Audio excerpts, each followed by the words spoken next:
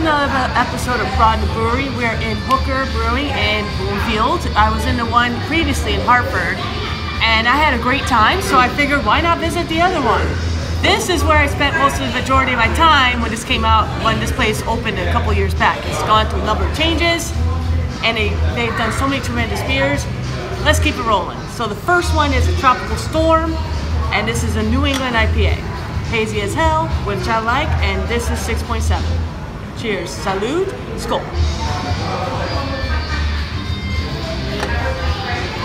That tastes like pineapples. I love it. I love pineapples. If you love pineapples, then you will love this beer. It's amazing. It's delicious. All right, so this one is Hit by Pitch Pale Ale, 4.5. This is what they give to the um, the that team in Hartford, the goal. Yard goats. Yard goats. Thank you. Thank you so much.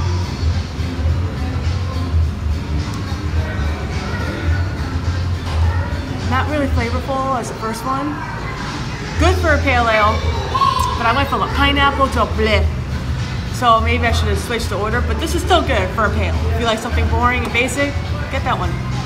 So the next one is a blonde. Um, this is the blonde ale right here. I remember when this first came out, and then like me and my producer went to a liquor store, and we were like, "Do you have any hookers back there?" And this was before this place was popular, in a liquor store, and the guy was like, and he could have taken it as hookers or just a hooker blonde, blonde hooker. Why not? Just as I remember it, super crisp, refreshing.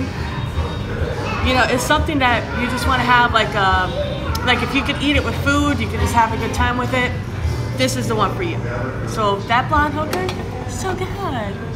So the last one is the Trillo, and this one is an IPA. It's a hazy IPA. Look at that number, 6.3.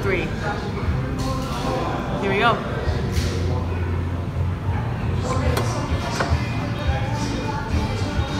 Not into that one. I didn't really like the aftertaste on that one. It, it tasted it didn't have it just didn't have what I want. I'm not a fan of that one. That's probably the one that I don't like. But the rest of these, I would have to say, I'm gonna give it an A. Taste is subjective. This place has been around for a while. Come visit, come hang out, look at all the stuff that's happening. It's getting bigger by the moment. They're even making beer for yard goats. You know, if you like a bunch of yard goats. And brought out.